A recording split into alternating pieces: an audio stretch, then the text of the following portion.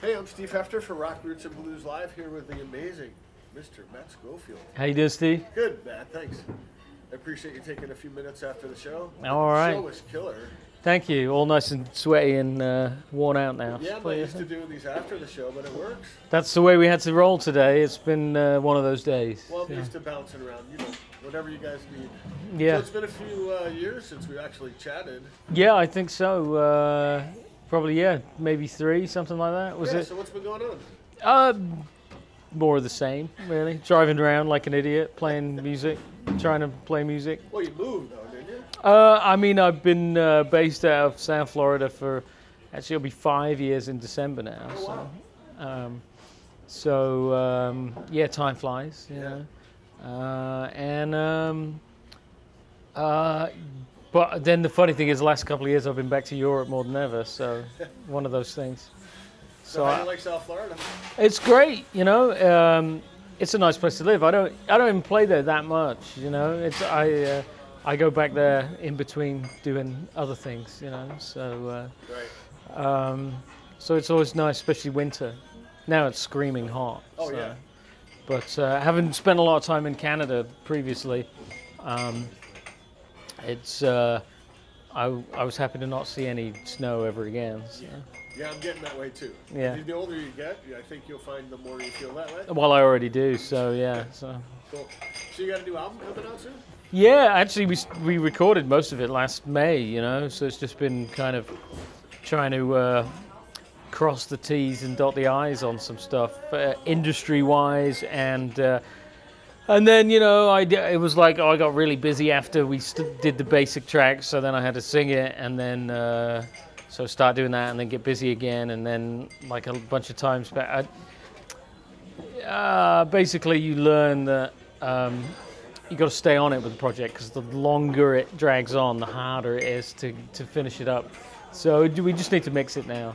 Um, so it's it's trying to get that kind of um, figured out in between making a living, really. So you have to go back and make a living, and because I left my previous label last year, uh, so we're doing this one all ourselves. Oh, and- totally independent. yeah, I, I mean, wh- when it's done, we might see what some people think of it.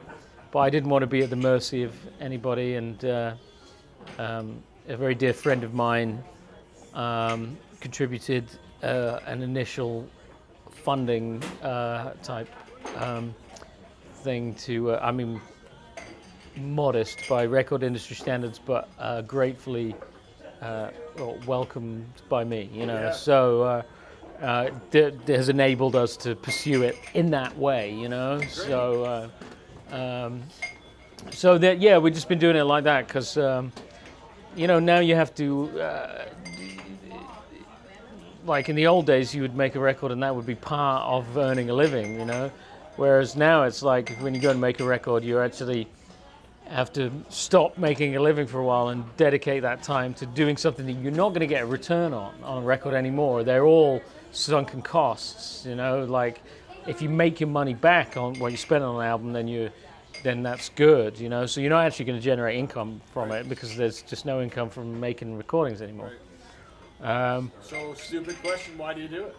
Because you have to, because I can't get. I mean, the, the bookings slow up until you have a new release.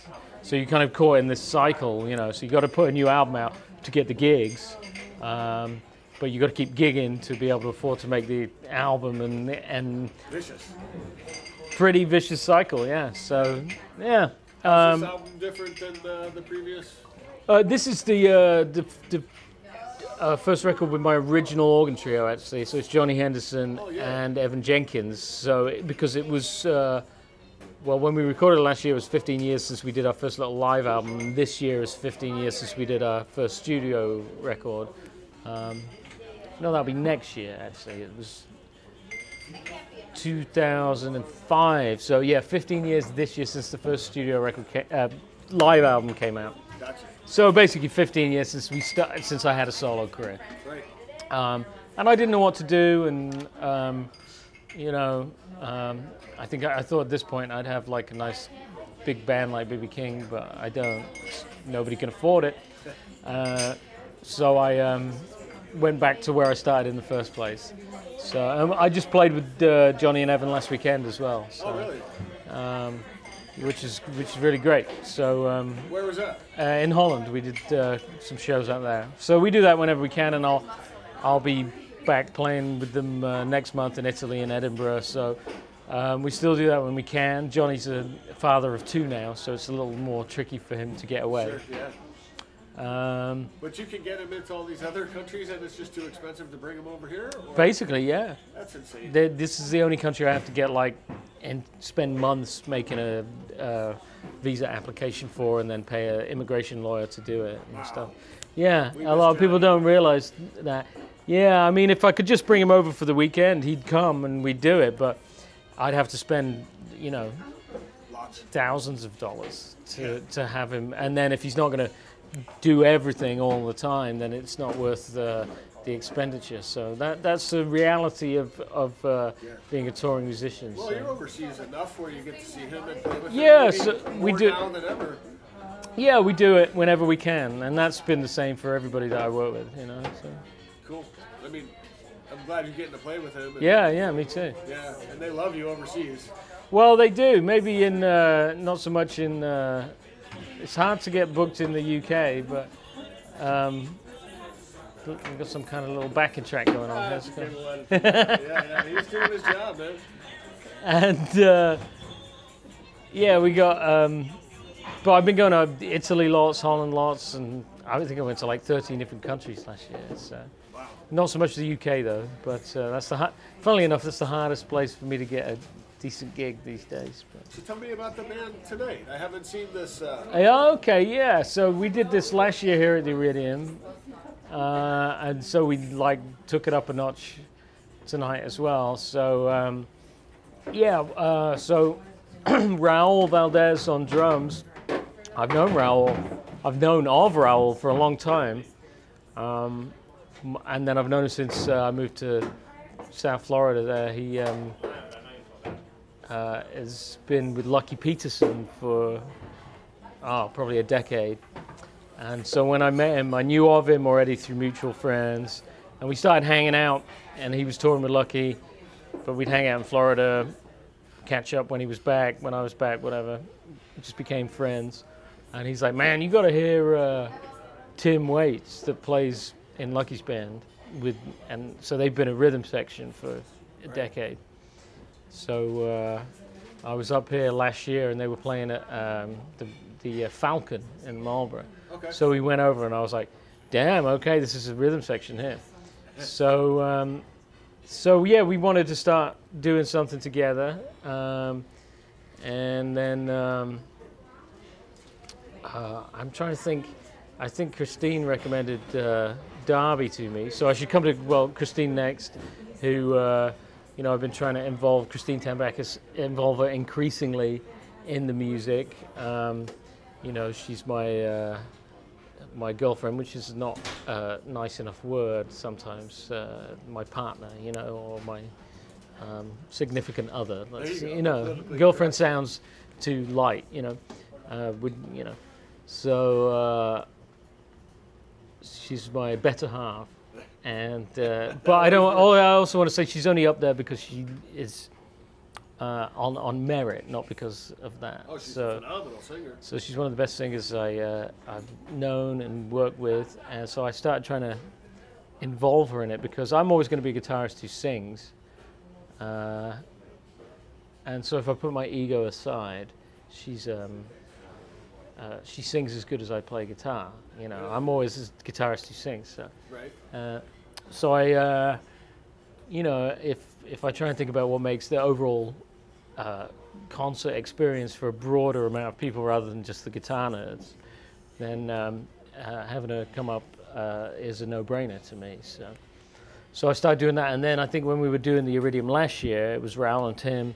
And they always they have the House B3 here, so I'm like, well, somebody should play it, and. Uh, so I think Christine suggested Darby's from up in Massachusetts, um, and so he came down and played, and uh, he's just fits in perfectly. You know, it's like um, probably um, the, the the first of that kind of organ player I've had since Johnny. Uh, you know, so Right. he has a similar, um, really supportive role, and then when he takes solo, he's ripping a solo. So uh, so it's great. And then uh, also Chelsea Barrett that was with us tonight. Um, Christine met on a gig that she's based out of here in New York, and uh, so uh, I heard her and I was like, well, man, she can like blow. Because there's a lot of saxophone players who are just jazz saxophone players, Right. but she can like play some blues on it as well and make it honking, which I like, but also has all the other stuff. And that's kind of what my music's always been about. It's like it's not just blues, but you have to be able to play the blues. So you can't just play all the other stuff. If you can't, if you don't really know how to get down and play the blues, then you can't really do the gig. Um, so there's a lot of people who can, these days who can play all the other stuff, but they don't really know about the blues. So that would be an explanation for everybody that's involved in the band, really, is they, you know, Raoul and Tim have been getting down there playing with Lucky Peterson for a decade, and they really know how to get those feels right. But also, they're much broader than just that. So that would apply to everybody. So that, I think that's what's cool about this. And you know, everybody's a similar sort of age within reason. Um, I'm starting to become like one of the older guys in my band now. It was always the other way around. That's what happens when you don't die. Apparently so. Yeah, Yeah, I'm older than most of my heroes ever made it to. You know, so there you go. Yeah. So how has the whole uh, giving up the ego a little bit to the singer been working?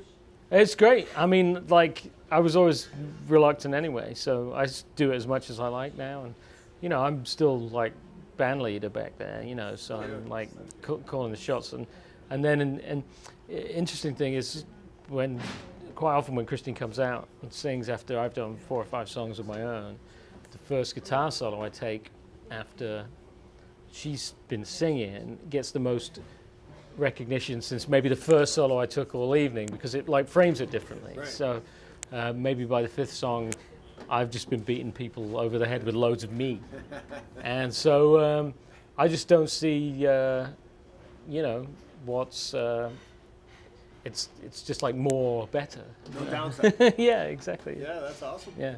So are you writing in between all this? Yeah, well, I mean, I wrote uh, most of the, the new trio records. Um, uh, You said records. yeah, well, most of the new trio record is Okay. is uh, Thought I had a original stuff. No, but we're you know we're talking about doing something with this particular combination of people, like a bigger thing, you know. Uh, maybe get another horn in as well, uh, if you can make it work logistically and financially to to have that. And I think, you know, these days we live in a visual world, so it's hard for just a trio to headline a festival or something like that.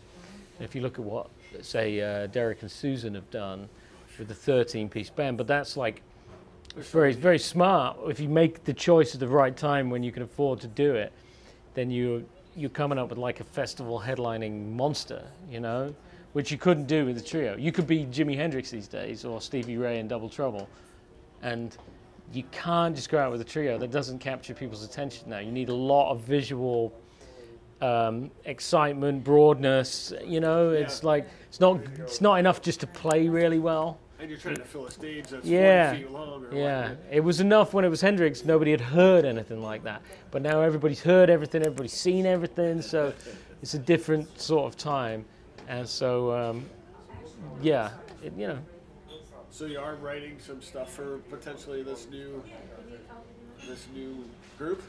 uh, yeah, we're going to start on that next. You know, so yeah, we might just do a bunch of tunes that we like already, but yeah.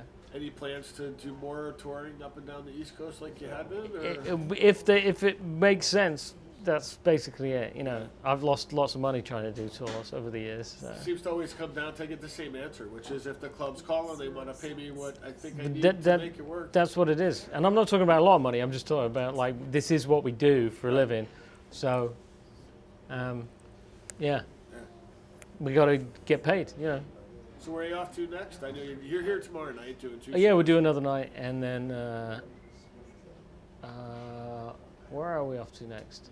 I go to San Diego on Monday for the night, and then back to do a clinic, and uh, and then uh, Yeah, next stop is uh, a little quick stop in London for a guest spot, and then like 10 days in Italy with a quick jump back to Edinburgh for the Edinburgh Jazz and Blues Festival, and then back to Italy, and then Peer Blues Festival in Belgium, which is a big one, and That's so be a blast. on, on and on and on. Yeah. So yeah. yeah. So um, and then August we'll see what happens then, basically. So Cool.